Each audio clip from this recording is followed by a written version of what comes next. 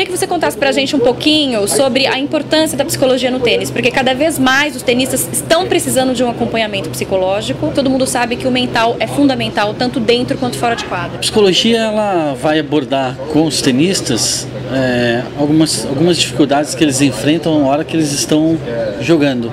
Então eles enfrentam situações de tensão, é, é, algumas variáveis que influenciam, ponto, bola na linha, chamadas de juízes, é, temperatura, quadra, tipo de piso, mais rápido, menos rápido, tipo de bola. Então é, é muita coisa para que o tenista consiga. Então a psicologia vai tentando equilibrar tudo isso um pouco mais, que ele possa lidar um pouco, com, ser um pouco mais tolerante com todas essas variáveis. Existe diferença de, entre trabalhar com homens e mulheres? Essa, essa pergunta é boa. Me perguntaram isso ontem, eu falei assim, ó, acho que daqui um mês você vai ter que me entrevistar de novo. e aí eu acho que eu vou poder te responder com mais subsídios. Porque agora estou começando a trabalhar com a Paula, então para mim é tudo uma, o circuito é tudo uma coisa nova. Mas eu acho assim, o que eu já poderia te dizer de antemão é que as mulheres são mais sensíveis como elas são mais sensíveis, eu poderia te dizer que elas ah, lidam um pouco com a emoção um pouco mais do que os homens. Muito mais tempo. É, então eu já estou observando a demanda de, de variáveis assim que que, é, que, que é a carência, né? porque é muito, ela é muito mais sensível. Então eu tô te, tô te dando um feedback assim de um começo. Logicamente, como eu te falei, eu ainda prefiro aguardar um pouco mais, tá? Mas o que eu tenho percebido já que é isso, esse detalhe é importante. Então a gente trabalha muito com, com acreditando que as emoções elas também são geradas pela maneira como a gente encara o mundo, como a gente vê as, o, o mundo, as outras pessoas, a visão que a gente tem da gente mesmo. Então a gente vai criando certas crenças. Então esses pensamentos, então eles são responsáveis pela, pela felicidade, tristeza, maneira como a gente sente, nosso humor. Então esse dado acho que é importante te dizer agora. O que eu observo, sim, muito pouco tempo, é que as mulheres são mais sensíveis. Então, logo a gente começa a observar que há uma demanda maior no sentido de controlar tudo isso. Ela vai variar um pouco mais. Lógico que o que eu estou te falando, veja bem, é da psicologia do esporte, é do que eu estou observando dentro da quadra. Tá? Que isso tem que ficar bem claro para não, não sair por aí é pelo social, né? Você começou o trabalho com a Paula agora, antes da Fed Cup? Quando foi exatamente? Antes da Fed Cup, eu comecei o trabalho com a Paula exatamente no mês de janeiro.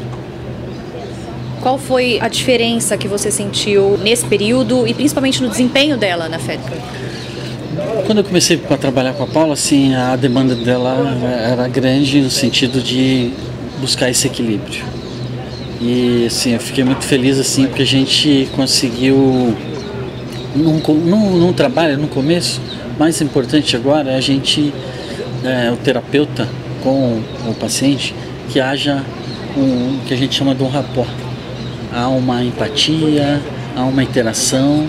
Tá? Então isso a gente numa, numa, numa gíria a gente diz que deu uma liga. Né? Então a gente teve uma sintonia boa. Ela respondeu muito rápido. É, ela está querendo trabalhar, uma pessoa que pega rápido as coisas. E, assim, foi, foi uma surpresa já ter é, uma performance dessa. Então agora a gente tá, é um trabalho que está se iniciando, né? É um trabalho novo, então tem, tem muita coisa para a gente trabalhar, para desenvolver nesse campo da psicologia, para que uma jogadora como ela possa começar a usar algumas ferramentas que possam melhorar a performance dela. Então esse é o objetivo, então a gente está caminhando agora devagar, né? no sentido de, de ter equilíbrio, ter paciência, sabe que é um trabalho que não é um trabalho para agora. Ela conseguiu esse desempenho, mas não é para agora, né? O objetivo não era esse. Eu até brinquei com o Kima, ele ficou bravo comigo, dizendo, pô, mas não é para agora? É, então, assim, tem que ter paciência com a, com a, parte mental, porque algumas coisas vai se desenvolvendo, uma, uma jovem, né, que vai vai atingir a, a, maturidade daqui a um tempo. Eu percebo o seguinte, que principalmente aqui no Brasil, a torcida é muito passional. E nós temos tenistas que são extremamente apoiados, como é o caso do João Souza, que a gente sabe que ele levanta mesmo a galera, a galera torce por ele. E, ao mesmo tempo, a gente tem uma torcida que parece contra o Tomás Bellucci. Inclusive, ele até já foi vaiado aqui no Brasil Open no ano passado.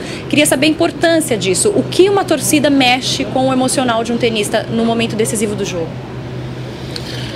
Eu acho, eu acho assim que que a torcida, como você falou, é um lado mais emotivo. Então eu acho que todo atleta, independente da área, independente do esporte, ele, ele vai com o tempo aprendendo a lidar com isso. Eu tenho certeza que esse episódio do Tomás já foi superado. Tenho certeza que o Tomás já está lidando bem com isso. Foi, na, na minha visão, foi um episódio isolado e que a, a, as pessoas acabam dando uma devida importância, né? mas foi naquele momento. Eu tenho certeza que agora o Tomás jogando no Brasil, ele vai ter o apoio da torcida. Esse episódio está. E, e acho que assim, o atleta vai amadurecendo para poder lidar bem com isso e saber que a torcida, como você falou, é passional. E que ele, no trabalho dele, ele tem que lidar, como eu falei no feminino, muito bem com essas emoções. Então, eu acho que foi um episódio isolado, tenho certeza que ele vai jogar bem aqui, a gente torce para que isso aconteça e que essas coisas mudam muito rápido. Basta um jogo para a torcida já tá de novo. Foi um, um, episódio que passou e estou torcendo muito para que, que ele volte a, a, encontrar de novo o jogo dele, que é um, um, um jogo muito forte, que é um, um jogo, um patamar de ranking que, que não é o dele e que isso pra gente é importante. A gente torce por isso porque o tênis brasileiro precisa que ele volte e que ele, que ele reencontre o jogo dele. De 0 a 100, qual a porcentagem que você dá ao trabalho psicológico no tênis? Nossa, essa sua pergunta é uma pergunta assim muito boa, fantástica. Veja bem, é, não dá para se mensurar isso. Nós não temos um aparelho que mensura, vai lá e diz, ó, a psicologia é tanto. Mas já, já foram feitas pesquisas sobre isso e depende muito do jogador, depende muito do momento. Só para você ter uma ideia, o Jimmy Collins deu uma entrevista uma vez dizendo que o tênis era a parte mental para ele era 95% hoje. Então os jogadores falam 50, então depende muito da demanda. Então o que eu observo no trabalho é que às vezes a parte mental ela ela, ela vai passar 50, depende do momento, 60, 70, 80.